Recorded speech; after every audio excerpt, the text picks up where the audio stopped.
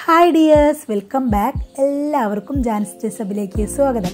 അപ്പോൾ ഇന്ന് നമ്മൾ മലബാറിന്റെ സ്പെഷ്യൽ സ്നാക്കായിട്ടുള്ള പൊരിച്ച പത്തിരി അഥവാ എണ്ണപ്പത്തിരിയുടെ റെസിപ്പിയുമായിട്ടാണ് വന്നിട്ടുള്ളത്.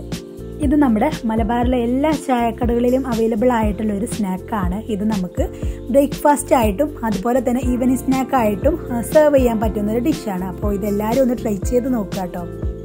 വീഡിയോയിലേക്ക് കടക്കുന്നതിന് മുൻപായിട്ട് നിങ്ങൾ ഈ ചാനൽ ഇതുവരെ സബ്സ്ക്രൈബ് ചെയ്തിട്ടില്ലെങ്കിൽ ഈ വീഡിയോയ്ക്ക് താഴെ കാണുന്ന ചുവന്ന നിറത്തിലുള്ള സബ്സ്ക്രൈബ് ബട്ടൺ ഒന്ന് ക്ലിക്ക് ചെയ്യുക. എന്നിട്ട് അതിന് തൊട്ടടുത്തൊരു ബെല്ലൈക്കൺ കാണും. അതുകൂടെ ഒന്ന് പ്രസ് ചെയ്യുക. അതിൽ ഓൾ വേണം കേട്ടോ സെലക്ട് ചെയ്യാൻ. എന്നാലുള്ളൂ ഞാനിടുന്ന ഇതുപോലെയുള്ള പുതിയ പുതിയ വീഡിയോസിനെല്ലാം നിങ്ങൾക്ക് നോട്ടിഫിക്കേഷൻ ലഭിക്കുക.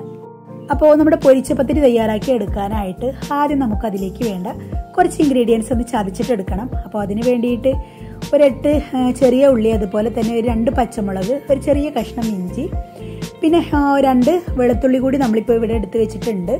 ഇത് നമുക്ക് ഒരു ബ്ലെൻഡറിലിട്ട് ചെറുതായിട്ടൊന്ന് ചതച്ചിട്ടെടുക്കാം.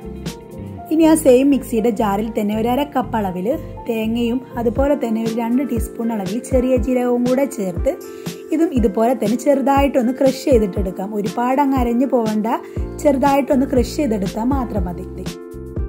ഇനി സ്റ്റൗവിൽ ഒരു പാൻ വെച്ച് കൊടുത്തതിന് ശേഷം അതിലേക്ക് ഒരു രണ്ട് ടീസ്പൂൺ അളവിൽ നെയ്യ് ഒഴിച്ചു കൊടുക്കാം. കൂടെ തന്നെ ഒരു രണ്ട് ടീസ്പൂൺ അളവിൽ വെളിച്ചെണ്ണ കൂടെ നമ്മൾ ഇതിലേക്ക് ആഡ് ചെയ്ത് കൊടുക്കുന്നുണ്ട്. എന്നിട്ട് നമ്മൾ നേരത്തെ ചതച്ച് വെച്ചിട്ടുള്ള ഇഞ്ചി പച്ചമുളക് വെളുത്തുള്ളി ഇതിലേക്ക് ചേർത്ത് കൊടുത്തിട്ട് നന്നായിട്ടൊന്ന് വഴറ്റിയിട്ടെടുക്കാം.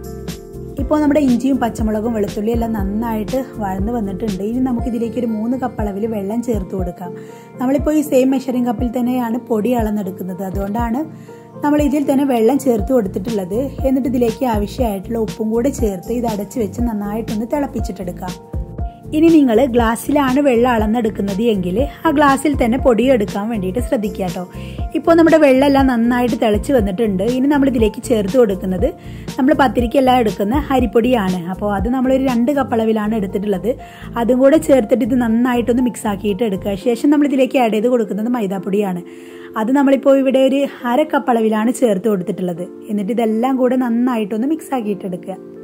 ഇതിലേക്ക് നിങ്ങൾ അരിപ്പൊടി എടുക്കുമ്പോൾ വറുത്ത അരിപ്പൊടി തന്നെ എടുക്കാൻ വേണ്ടിയിട്ട് ശ്രദ്ധിക്കുക കേട്ടോ എന്നിട്ട് ഇത് ഒരു ബൗളിലേക്ക് മാറ്റിയതിന് ശേഷം നമ്മൾ നേരത്തെ ക്രഷ് ചെയ്ത് വെച്ചിട്ടുള്ള തേങ്ങ കൂടെ ഇതിലേക്ക് ചേർത്ത് കൊടുത്തിട്ട് ഇത് നന്നായിട്ട് നമ്മൾ ചപ്പാത്തിക്കെല്ലാം കുഴച്ചെടുക്കുന്നത് പോലെ നന്നായിട്ട് നല്ല സോഫ്റ്റ് ആയി കിട്ടുന്നത് വരെ ഒന്ന് കുഴച്ചെടുക്കാം. ഇത് നമ്മൾ കുഴച്ചെടുക്കുമ്പോൾ ചൂടാറാൻ വേണ്ടിയിട്ട് വെയിറ്റ് ചെയ്ത് നിൽക്കേണ്ട ആവശ്യമില്ല. ചൂടോടെ തന്നെ കുഴച്ചെടുക്കണം. അപ്പോൾ ഇത് കുഴച്ചെടുക്കുമ്പം ഇതിലേക്ക് നമ്മളൊരു രണ്ട് ടീസ്പൂൺ അളവിൽ കരിഞ്ചീരകം കൂടെ ചേർത്ത് കൊടുക്കുന്നുണ്ട്.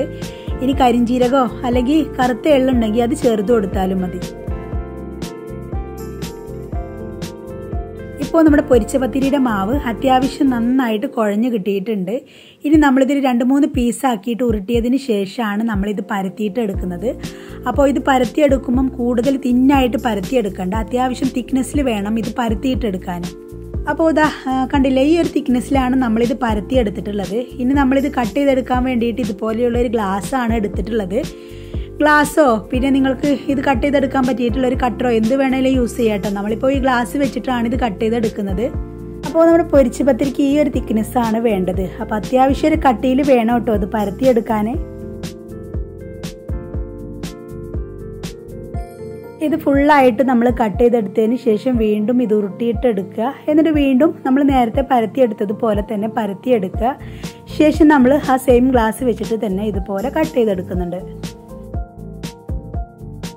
ഇപ്പോൾ നമ്മുടെ പൊരിച്ച പത്തിരിക്ക് വേണ്ട പത്തിരിയെല്ലാം നമ്മളിപ്പോൾ ഇവിടെ പരത്തി വെച്ചിട്ടുണ്ട്. ഇനി നമുക്ക് ഇതൊന്ന് ഫ്രൈ ചെയ്തിട്ടെടുക്കണം. അപ്പോൾ അതിന് വേണ്ടിയിട്ട് സ്റ്റൗവിൽ ഒരു പാൻ വെച്ച് കൊടുത്തിട്ടുണ്ട്. അതിലേക്ക് ആവശ്യമായിട്ടുള്ള വെളിച്ചെണ്ണ നമ്മൾ ഒഴിച്ചു കൊടുക്കുക.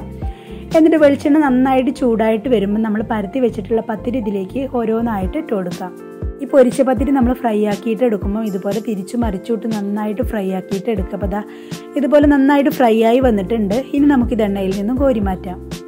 നല്ല ടേസ്റ്റി ആൻഡ് ഹെൽത്തി ആയിട്ടുള്ള നമ്മുടെ പൊരിച്ച പതിരിയുടെ റെസിപ്പി കാണാൻ നിങ്ങൾക്ക് ഇഷ്ടമായിട്ടുണ്ടെങ്കിൽ താഴെ കാണുന്ന ലൈക്ക് ബട്ടൺ ഒന്ന് ക്ലിക്ക് ചെയ്യാൻ വേണ്ടിയിട്ട് മറക്കരുത്. അപ്പോൾ ഇനിയും ഇതുപോലെയുള്ള പുതിയ വീഡിയോസുമായിട്ട് വരുന്നവരേക്കും ബൈ താങ്ക്സ് ഫോർ വാച്ചിങ്